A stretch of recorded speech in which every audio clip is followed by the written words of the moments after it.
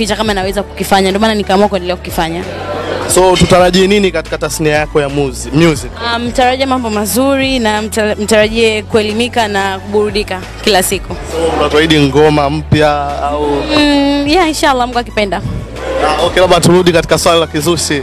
Uh, kuna interview ulifanya ukasema kwamba okay, tunamalizia. Kuna interview ulifanya ukasema kwamba uko tayari kuolewa mke wa pili na Mwijaku. Hii imekaje? No, sikusema niko tayari, nilisema sasa hivi tunafanya kazi, kwa hiyo hamna kitu kama hiko. Kwa hiyo watu walikuwa wanajaribu tu kutuchochea. Yes, hivyo. So Mwijaku akihitaji uwe mke wake wa pili uko ready? Hiyo ni heri ambayo Mungu huwa anaileta.